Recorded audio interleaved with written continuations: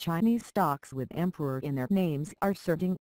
What's the trade on China's move to let President Xi Jinping stay in power indefinitely? Some investors may have decided that it's buying shares in companies with king or emperor in their names.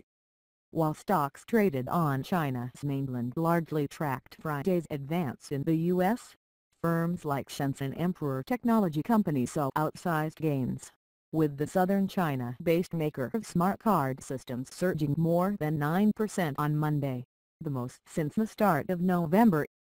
Trading volume in the stock also spiked, to over three times what it was on Friday.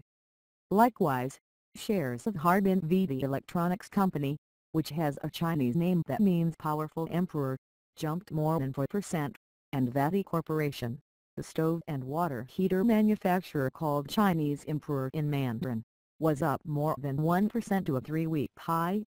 The shortened name for Jiangxi Huang Group Food Company, which climbed almost 3%, roughly translates as King of Kings. Even Shanghai Emperor of Cleaning High-Tech Company got a boost, rising 2.6% compared with the benchmark index's 0.7% climb. Chinese investors have a history of betting on stocks because of their names. Traders in the $7.7 trillion market, which is dominated by mom and pop investors, flocked to a stock whose name sounded like Trump wins big to Mandarin speakers as the U.S. president secured victory in November 2016, while one called Aunt Hillary sold off. When China said it would build a new economic area and city near the capital in April last year, Companies with Beijing, development, construction, and even cement in their names benefited. The push to remove presidential term limits from China's constitution would allow XI to rule beyond 2023 and further cement his status as the country's most powerful leader in decades.